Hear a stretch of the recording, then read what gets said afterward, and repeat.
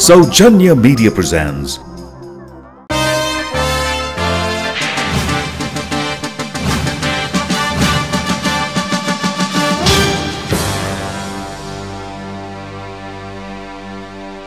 This program is in association with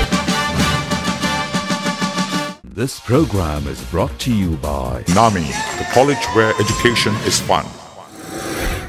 VS Nikitan Higher Secondary School.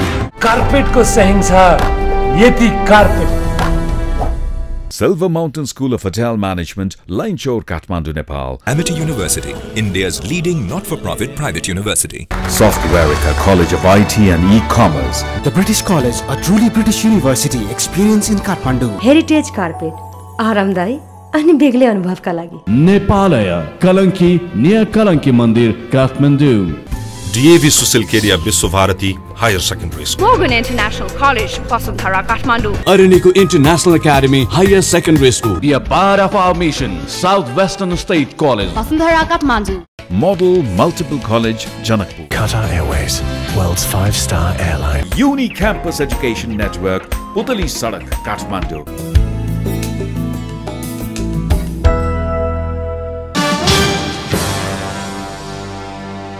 नमस्कार। कार्यक्रम info टकको अर्को यो महत्त्वपूर्ण एपिसोडमा यहाँहरूलाई स्वागत छ। दर्शकबिन शिक्षा क्षेत्रमा हामीले नीतिगत सुधारका प्रयास गर्दै हामीले विभिन्न व्यक्तिहरूलाई स्टुडियोमा बोलाएर उहाँहरूको विचार यहाँहरूसँग सम्प्रेषण गर्दै आएका छौँ। अहिले शिक्षा क्षेत्र यस्तो क्षेत्र जुन सबैका लागि आवश्यक छ र महत्त्व पनि त्यत्तिकै छ तर राज्यले गत वर्षको तुलनामा यस वर्ष शिक्षा क्षेत्रमा गरेको लगानी कम गरेको छ।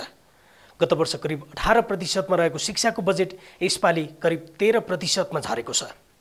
यो अवस्थामा नेपालमा शिक्षा क्षेत्रलाई कम महत्त्व दिँदै गइएको हो कि भन्ने यथार्थता देखिएको छ। दर्शकबिन अर्को पक्ष सँगसँगै के देखिएको छ भने नेपालबाट हजारौँको सङ्ख्यामा मानिसहरू बाहिरिरहेका छन् उच्च शिक्षा अध्ययनका लागि। नेपालमा स्तरीय शिक्षा भएन भनेर हजारौँ विद्यार्थी बाहिरिएका छन् र अरबौँ पैसा बाहिरिएको छ।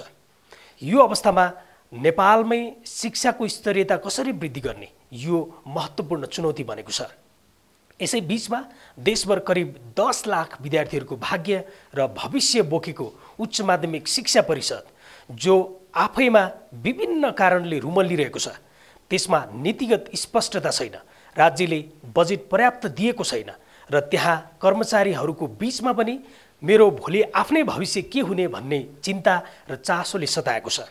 यो बिचमा अब उच्च माध्यमिक शिक्षा परिषद कसरी अगाडि बढ्छ? भन्ने कुरामा हामीले आजको बहसलाई केन्द्रित गर्न लागिरहेका छौँ। आजको कार्यक्रममा हामीले निम्त्याएका छौँ उच्च माध्यमिक शिक्षा परिषदको उपाध्यक्ष डाक्टर हेमकुमार मिश्रलाई। डाक्टर साहब यहाँलाई स्वागत छ कार्यक्रममा। धन्यवाद श्यामजी। यहाँले उच्च माध्यमिक शिक्षा परिषदमा उपाध्यक्षको रूपमा जिम्मेवारी सम्हालेको करिब चार वर्ष बित्न लाग्यो। या आफ्नो कार्यकालको उत्तरार्धमा हुनुहुन्छ। केही समय मात्रै बाँकी छ। यहाँले उपाध्यक्षको रूपमा जिम्मेवारी सम्हाल्ने यो बिचमा तपाईँलाई कस्तो फिल भइरहेको छ? यो काँडै काँडामा हिँडिएको जस्तो अनुभव भयो। काँडै काँडामाथि हिँडिएको अनुभव खुट्टामा असङ्ख्य घाउहरू छन्। पालै पाल छन्। तापनि हिँडि नै रहेको छु यसमा किन काँडै काँडामा हिँडेको जस्तो महसुस भयो यहाँलाई? विश्वविद्यालयको हामी म शिक्षक हुँदा लामो समयसम्म विश्वविद्यालय मैले पनि छु। विश्वविद्यालयमा त्यस्तो किसिमको मैले कहिले फिल गरिनँ। कानुन व्यवसायको क्षेत्रमा पनि त्यस्तो फिलिङ गरिनँ। तर यहाँ आएर एउटा अनौठो फिलिङ भयो शिक्षाको एउटा मध्यम स्तरीय जनशक्ति तयार गर्ने एउटा निकाय। मलाई त्योभन्दा बढी पहिले थाहा थिएन कि यो वास्तवमा यो संस्था शिक्षाको संस्था हो भने प्रायः मान्छे शिक्षित हुन्छन् र त्यहाँ विकृति हुँदैन मैले एउटा मैले फिल गरेको थिएँ। किन विश्वविद्यालयमा हाम्रो शिक्षकको काम पढाउने विद्यार्थीलाई पढाउने लेक्चर दिने आफू अध्ययन गर्ने जाने। त्योभन्दा बढी हाम्रो कुनै फङ्सनै नहुने त्यहाँ।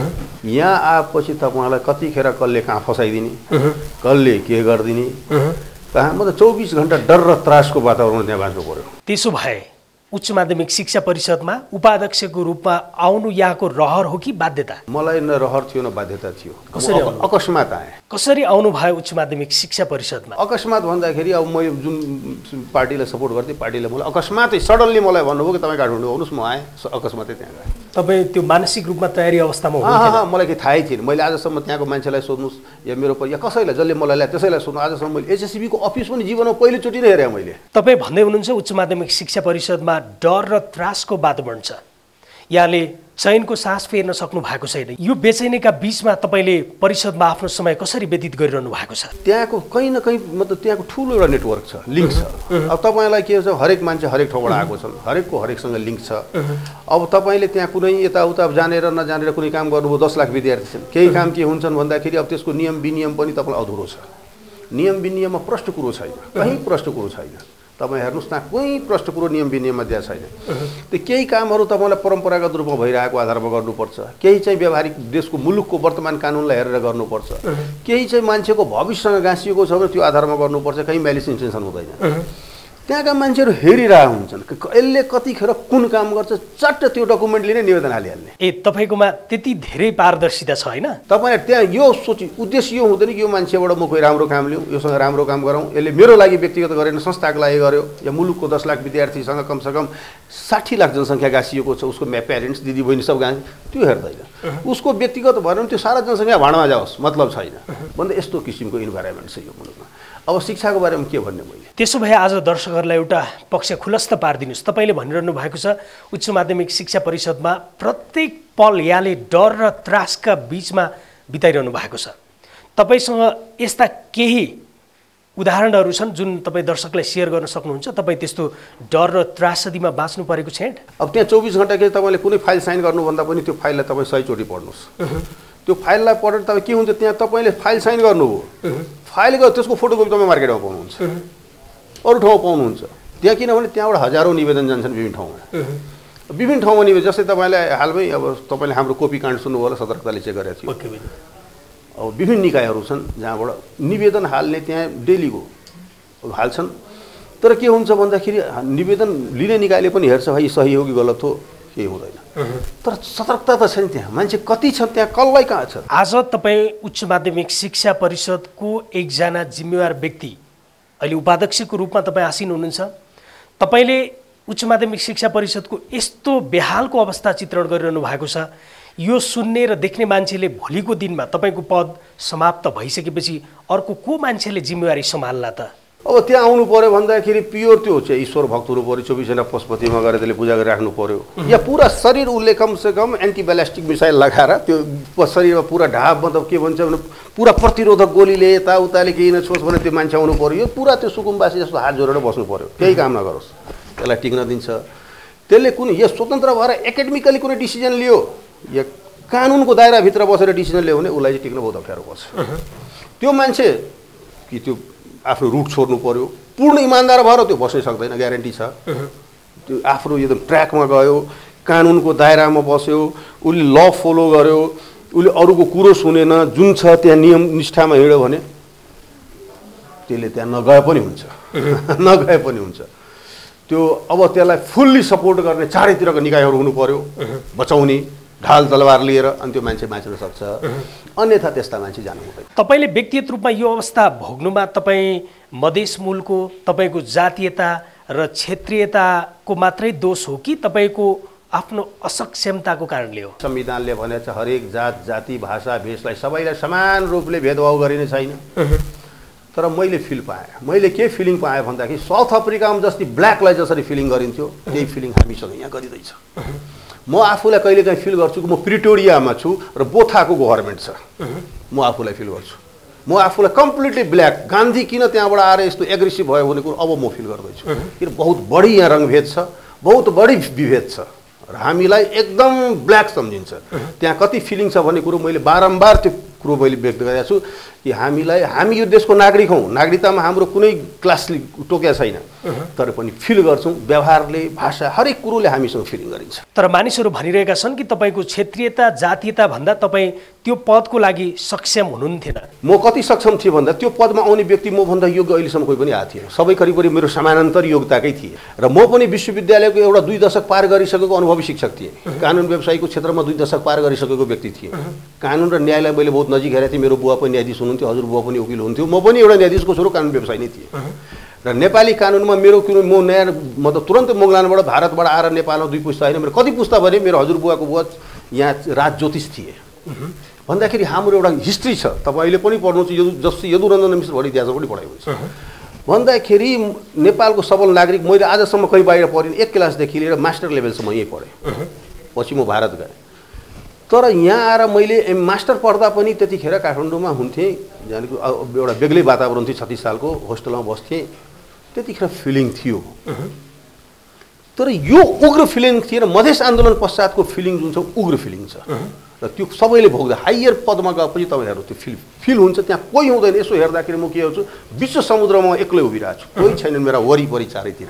यस्तो फिलिङ हुन्छ। तपाईँले यो केवल आरोप मात्रै लगाइरहनु भएको छ कि आफूले काम गर्न नसकेर तपाईँले त्यो आक्रोश पोख्नु भएको? हामीले त्यहाँ आउँदाखेरि सबभन्दा लिकेजेसहरूको पाल जुन बन्द गरिदियो त्यो हाम्रो लागि सबभन्दा नराम्रो कदम भयो। उदाहरणको रूपमा त्यहाँ हामीले आउने बित्तिकै मेरो पहिलो परिषदमा डेढ करोड जतिको म माथि आयो कि यो पेमेन्ट गर्नुपर्छ त। के पेमेन्ट हो? त्यो विशेष पर्यवेक्षकका पैसाहरू थिए। मान्छेले के गर्थे त्यतिखेर मोठा त्यो भ्रमणको लिएर राख्थे। दस दसजनाका नाममा उनीहरूले विशेष पर्यवेक्षक बनाउँथे र पेमेन्ट लिन्थे। मैले आएर सबभन्दा पहिले पहिलो परिषदबाट विशेष पर्यवेक्षक बन्द। डेढ करोड रुपियाँ बचाएँ। इन्डियामा क्वेसन छाप्ने प्रविधि थियो। र यहाँबाट जाने मान्छेले त्यहाँ ज्वाइँ सर सुविधा पाउँथे। दिनको एक सय सत्तरी या कति डलर भने डिए हुन्थ्यो। त्यसपछि उताबाट जे हुन्थ्यो हुन्थ्यो नेपालमा क्वेसन आउट हुने पनि प्रणाली थियो। सबभन्दा पहिले हामीले एकल डिसिजनबाट नेपाल गभर्मेन्टलाई पछि हामीले थाहा दिएको। मन्त्रालयसँग समन्वय गरौँ। कि भारतमा क्वेसन छाप्ने प्रथा बन्द हुनुपर्छ। अनि हामीले कहाँ छाप्ने? हामीले भने सेक्युरिटी प्रेसमा छाप्ने जनक शिक्षामा छाप्यौँ। आज हामी एकदेखि डेढ करोडमा क्वेसन छाप्दैछौँ। नेपाल गभर्मेन्टलाई कति बचत हुनु? दुईवटा बताइदिएँ तपाईँलाई पेस्की थियो सिस्टम। क्वेसन छापाउने आने काम मलाई? टन्न पेस्की लिएर जाने। जति मलाई मन लाग्यो पेस्की पेस्की बन्द गरिदिउँ हामीले। विशेष पर्यवेक्षक बन्द गरिदिउँ। कोपी के थियो भने पहिले घर घरमा कोपी दिने। टिचरले आफ्नो खुसी कोपी जान्छ श्रीमतीसँग जचाउने छोरासँग जचाउने इष्टमित्रसँग जचाउने। हामीले परीक्षण केन्द्र खोल्यो। आठौँ नौवटा प्रशिक्षण केन्द्र खोल्यो। अब टिचरले त्यहीँ बसेर कोपी जाँच्नुपर्छ। लिमिटेड कोपी गरिदिउँ। एउटा टिचरले दिनमा पचासभन्दा बढी कोपी जाँच्न पाउँदैन। ल हेर्नुहोस्। भित्रका हामीले आर्थिक पारदर्शिता गरिदिउँ कि सारा ई बिलिङ सिस्टम गरिदिउँ। टिएमपी हामीले अब डबल दस्तुर हटाइदिउँ सिङ्गल दस्तुर गऱ्यौँ। टिएमपीमा जुन थियो अब तपाईँले मैले मैले निकालेको छु सुन्नुभयो होला। कि तपाईँलाई टिएमपी निकाल्नु छ भने विराटनगरमा कुनै स्टेसनरीलाई तपाईँ पैसा दिनुहोस् तपाईँको टिएमपीमा आइदिने कमाउने मेथड सारा बन्द गरिदिएँ अब आएर तपाईँ आटो आरामले लिनुहोस् डबल दस्तुर सिङ्गल दस्तुर लाग्छ। अब तपाईँलाई यस्ता किसिमका जुन थिए त्यसमा आर्थिक अराजकता त्यसलाई सिल गरियो। अन्नेसेसरी भ्रमण बन्द गरियो। सारा जुन थियो एउटा इकोनोमिक लिकेजेसहरू हामीले बन्द गऱ्यौँ एडमिनिस्ट्रेटिभ लिकेजहरूलाई बन्द गऱ्यौँ तपाईँले जति राम्रो काम गरेको बताइरहे पनि दाबी गरे पनि तपाईँले त्यहाँ बसेर अकुत सम्पत्ति त जोड्नु भएकै हो नि? अख्तियारमा आरोप त लागेकै छ। मेरो परिवारको नाउँमा पैतृक सम्पत्ति बाहेक मेरो पुस्तौँ सम्पत्ति बाहेक मैले यदि केही आर्जन गरेको छु भने आफ्नो तलब मेरो दुई चार दस हजार बिस हजार पच्चिस हजार होला। खेतबाडीको धानको पैसा आउँछ। भन्दा त्यो बाहेक यदि मैले कुनै अकुत सम्पत्तिमा मेरो कहीँ प्रमाण फेला परेन मलाई टुडी खेल खुला मञ्चमा लगेर गोली हान्दियो भने मेरो मन्जुरी छ। मेरो परिवार र मेरो सदस्य कसैले गएर कहीँ कुनै किसिमको उजुरी हाल्दैन। म त्यसमा पनि तयार छु। मेरो बच्चाहरूलाई पनि मारिदियो भने हाम्रो मन्जुरी छ। यदि उसको नाउँमा कसैको नाउँमा कुनै सम्पत्ति हेऱ्यो भने म यहाँ आएपछि चौध बिघा जग्गा बेचेको छु। तपाईँ प्रमाण हेर्नु सक्नु जग्गा बेचेर रेजिस्ट्रेसन हुन्छ। राजीनामा हुन्छ जुन मैले पेस गरेको छु। सेन्टर मिलाइदिने कलेजलाई सम्बन्धन बाँड्ने भन्दै यहाँले पैसामा बार्गेनिङ गर्नुभयो। यति धेरै पैसाको पछाडि किन लाग्नुभयो? प्रमाण दिनुहोस् न तपाईँ। जिल्ला समन्वय समितिले सिफारिस गरेपछि त्यो सिफारिसको आधारमा सेन्टर हुन्छ। र त्यो सेन्टर कहीँ कुनै किसिमको चेन्ज हुँदैन। उतैबाट उनीहरूले सेन्टर मिलाएर पठाउँछन् यताबाट सिर्फ जसरी आउँछ त्यस्तै परीक्षा समितिले पास गरेर त्यही जान्छ। त्यहाँ कहीँ कुनै किसिमको सलखेल हुँदैन। फेरि तपाईँलाई म कहीँ कसैलाई चिन्दिनँ। तपाईँले हेर्नु होला कुनै पनि सञ्चालकहरूसँग मेरो उठ बस या त खानपिन आनजान छैन। सम्बन्धन तपाईँलाई दुई विगत दुई वर्षदेखि दिएको छैन। पक्कै पनि। छैन। सम्बन्धनमा लागिरहेछ सम्बन्धन पढिरहेछ अहिलेसम्म सम्बन्धन दिएकै छैन। भने दिएकै छैन भने त्यहाँ चलखेल कहाँबाट भयो सम्बन्धन फेरि हामीले के त्यहाँ सम्बन्धनको पेपर हुन्छ डकुमेन्ट्री इभिडेन्स छ। तपाईँ त्यो सारा डकुमेन्ट हेर्नुहोस्। कुनै डकुमेन्टमा तलमाथि छ या कहीँ कुनै केयरमेट गरेको छ नदिनेलाई दिएको छ भने त्यो गलत हो। त्यो पक्कै त्यहाँ म्यालिस इन्टेन्सन देखिन्छ। तर तपाईँको डकुमेन्ट्री एभिडेन्स छ तपाईँ हेर्नुहोस् न। यदि तपाईँको यो दाबीलाई मान्ने हो भने तपाईँ उच्च माध्यमिक शिक्षा परिषदमा एक्लो बृहस्पति झुटो बन्नु भएको हो। एक्ज्याक्टली हो। नो डाउट तपाईँलाई तपाईँलाई झुटो साबित गर्ने प्रयास गरियो। भयङ्कर गरे तपाईँको इन्टेन्सन गलत थिएन। मेरो इन्टेन्सन गलत थिएन। नोइङली म या अननोइङली मैले चाहिँ गल्ती नगर्नु नै किन? पुरा देउताले पनि कहीँ न कहीँ मिस्टेक गर्छ। तर म आफू चाहिँ एकदम होसो हवासमा काम गर्दा मैले यो फिल गरेको छु कि मैले गल्ती नगरौँ। गल्ती न्यूनभन्दा न्यून होस् तर गल्ती नहोस् मैले त्यो अठोट गरेर काम गरेँ। केही समय अगाडि उच्च माध्यमिक शिक्षा परिषदको सम्बन्धन महाशाखा प्रमुख देवी बाराकुटी जो अख्तियारको कारबाहीमा हुनुहुन्छ उहाँले तपाईँ पनि त्यो साँठगाँठमा संलग्न हुनुहुन्थ्यो तपाईँ पैसाको लेनदेनमा संलग्न हुनुहुन्थ्यो भनेर यहाँलाई पनि आरोप लगाउनु भयो। तपाईँ त्यो साँठगाँठमा संलग्न हुनुहुन्थ्यो होइन? साँठगाँठमा छु भने जुन व्यक्तिले दियो त्यो व्यक्तिले त पनि भन्नुपर्छ नि उहाँसँग मेरो लिङ्क थियो। जबकि त्यो सम्बन्धित व्यक्तिलाई सम्बन्धित स्कुललाई मैले चिनेकै थिएन। त्योसँग मेरो कुनै लिङ्कै थिएन कन्ट्याक्टै थिएन। भन्दाखेरि जब त्यस्तो कन्ट्याक्ट थिएन लिङ्क थिएन भने कसरी हुन्छ त? उहाँले कस त्यहाँ कसैलाई उहाँले केही गर्नु भएन मलाई मात्रै गर्नुभयो यसबाट पनि के अनुमान हुन्छ?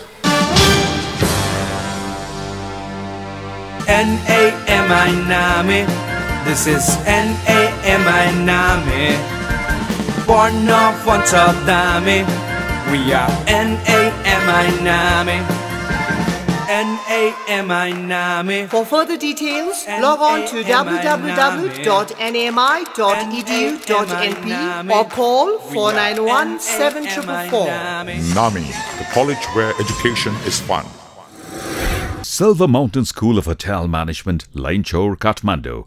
A truly international standard hospitality degree in Nepal, Silver Mountain School of Hotel Management offers dual international degree, a four-year bachelor's degree in international hospitality and tourism management (BHM) from Queen Margaret University, the United Kingdom, three years higher diploma in international culinary arts and departmental specialization from American Hotel and Lodging Educational Institute USA.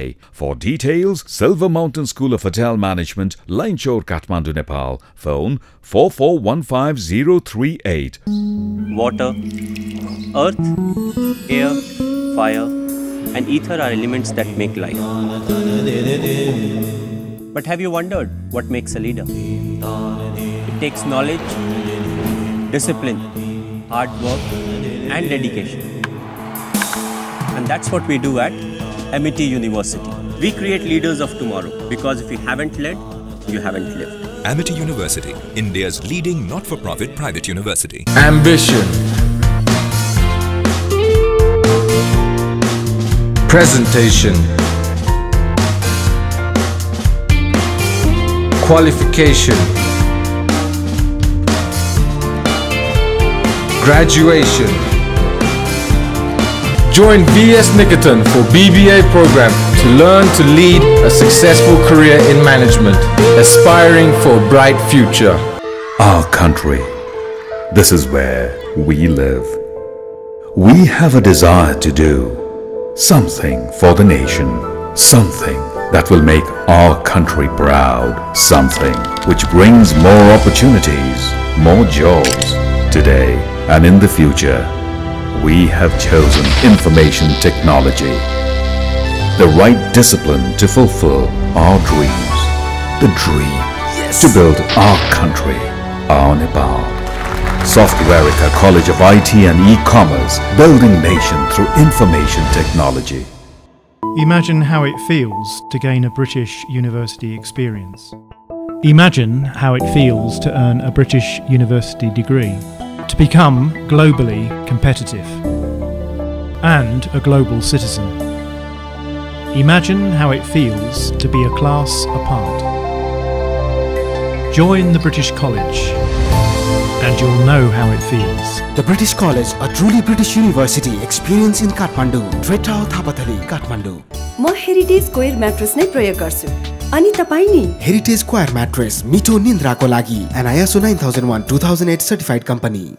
Admission open for plus 2, Science, Commerce and Humanities. DAV Susil Kedia Biswabharati Higher Secondary School, Zaulakhel, Lalitpur. Phone 5836 626. Be a part of our mission, Southwestern State College. Vasundhara Kathmandu. Study in Australia. Scholarships up to 20 to 50% for first division holder students for UK and Australia. Uni Campus, established since 2001, is a listed qualified education agent for Australia. Direct representation with top ranked universities of the UK and Australia. For further details, Uni Campus Education Network, Putali Sadak, Kathmandu, behind Shrestha Photocopy. Phone 4423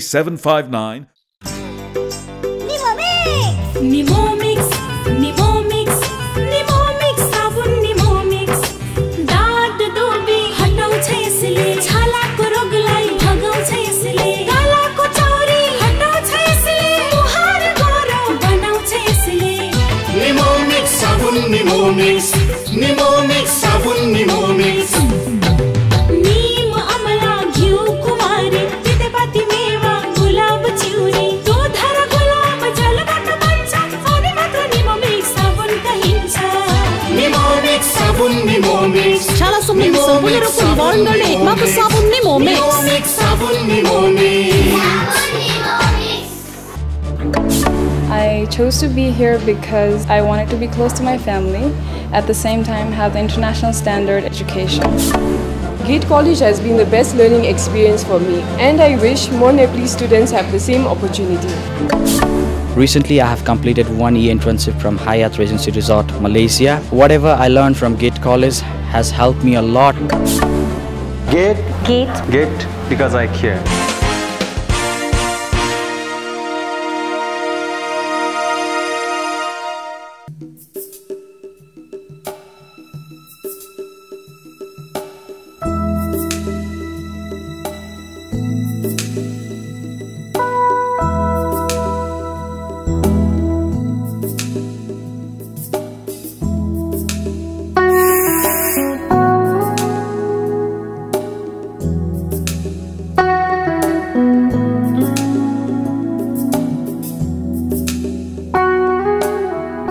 क्लासरुममा नबसी मैले पढ्ने अवसर प्राप्त गरेको छु। आउनुहोस् मसँग आइसिएमा।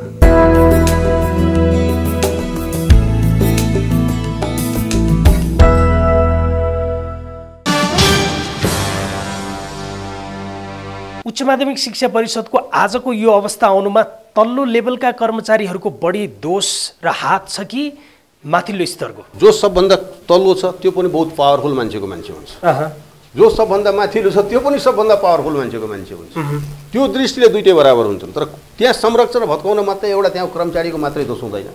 यो पनि हुन भनौँ।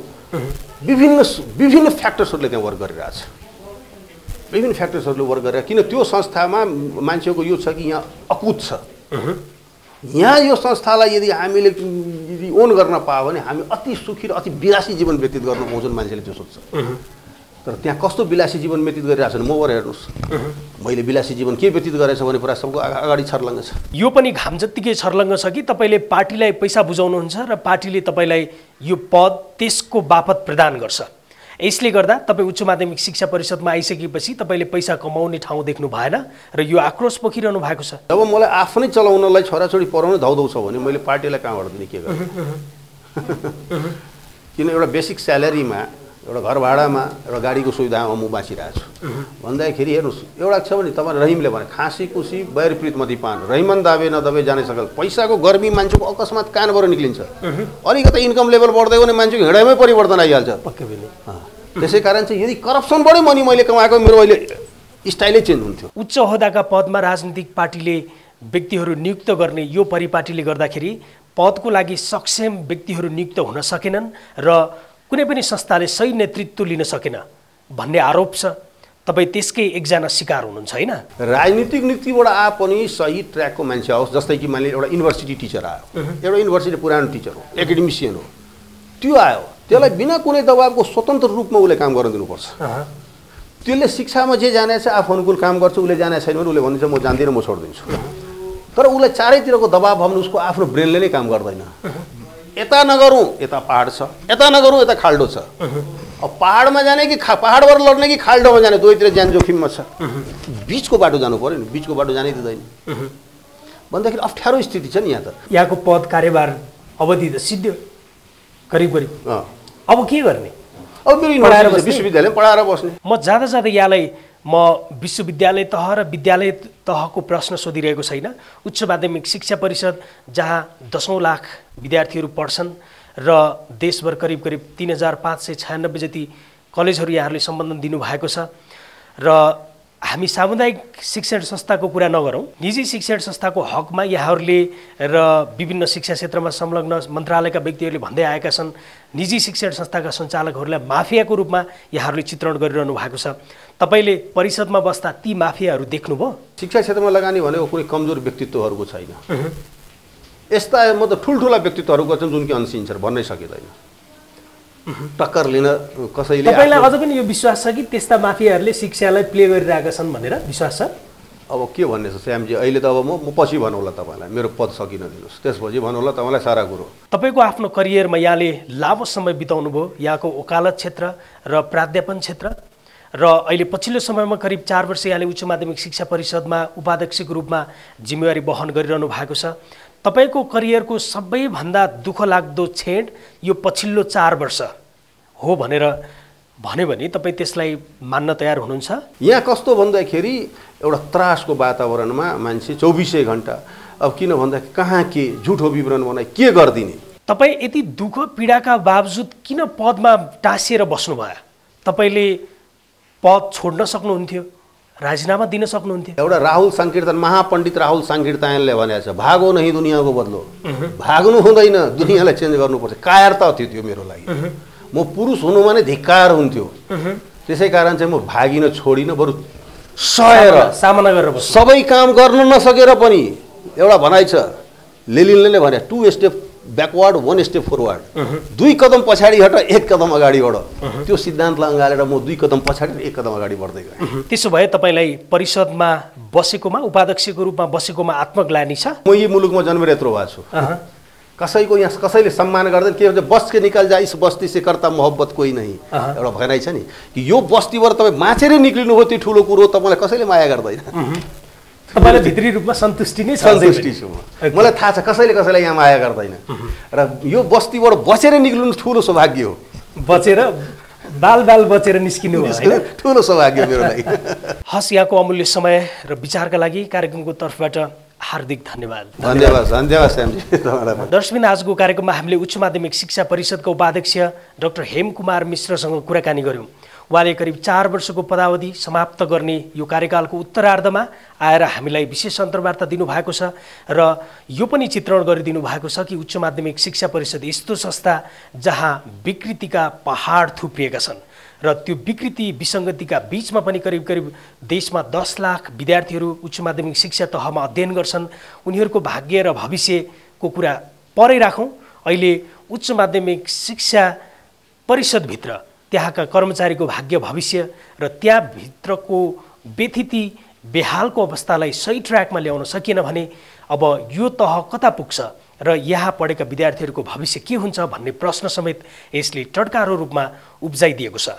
र दर्शकबिन यति मात्रै होइन। अब अर्को उपाध्यक्ष अर्थात् अर्को सदस्य सचिव जो परिषदमा आउनुहुन्छ उहाँहरूले पनि विचार गरेर मात्रै जसले म साँच्चै यो परिषदलाई हाक्न सक्छु भन्ने आत्मविश्वासका साथ आउनुहुन्छ उहाँहरूले मात्रै नेतृत्व सम्हाल्न जरुरी छ। डाक्टर हेमकुमार मिश्रले जसरी अकस्मात त्यहाँ आए भनेर हामीलाई बताउनु भयो अब परिषदको लागि त्यसरी अकस्मात रूपमा आउने व्यक्तिहरूको खाँचो पक्कै पनि हुने छैन र बुझेर सोचेर मात्रै त्यो पदमा आउनु जरुरी छ। यो भनाइसँगै अर्को हप्ता अर्को महत्त्वपूर्ण व्यक्ति र विषय लिएर उपस्थित हुनेछौँ।